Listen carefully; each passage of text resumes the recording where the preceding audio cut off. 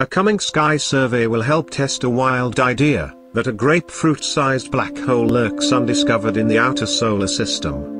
Over the past few years, researchers have noticed an odd clustering in the orbits of multiple trans-Neptunian objects, TNOs, which dwell in the dark depths of the far outer solar system. Some scientists have hypothesized that the T.N.O.'s paths have been sculpted by the gravitational pull of a big object way out there, something 5 to 10 times more massive than Earth, though others think the TNOs may just be tugging on each other. This big perturber, if it exists, may be a planet, the so-called Planet 9, or Planet X or Planet Next for those who will always regard Pluto as the ninth planet. But there's another possibility as well, the shepherding object may be a black hole, one that crams all that mass into a sphere the size of a grapefruit. Astronomers are already scanning the heavens for any sign of Planet 9, and they should soon be able to hunt for the putative black hole as well a new study reports. The highly anticipated Vera C. Rubin Observatory, a big telescope under construction in the Chilean Andes, is scheduled to begin a wide-ranging, decade-long survey of the southern sky called the Legacy Survey of Space and Time, LSST, in late 2022. The Rubin Observatory will be incredibly sensitive and scan large swaths of sky repeatedly, a combination that will provide an unprecedented wealth of data, scientists have said.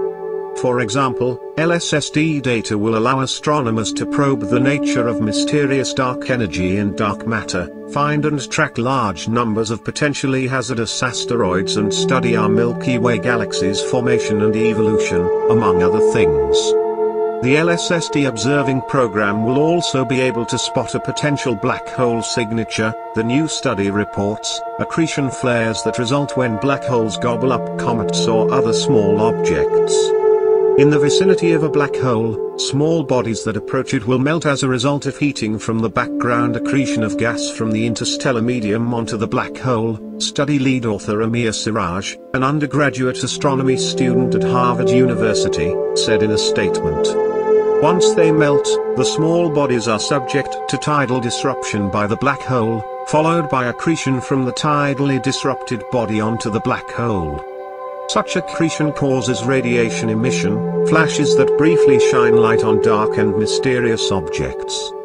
Because black holes are intrinsically dark, the radiation that matter emits on its way to the mouth of the black hole is our only way to illuminate this dark environment, co-author Avi Loeb the chair of Harvard's astronomy department, said in the same statement.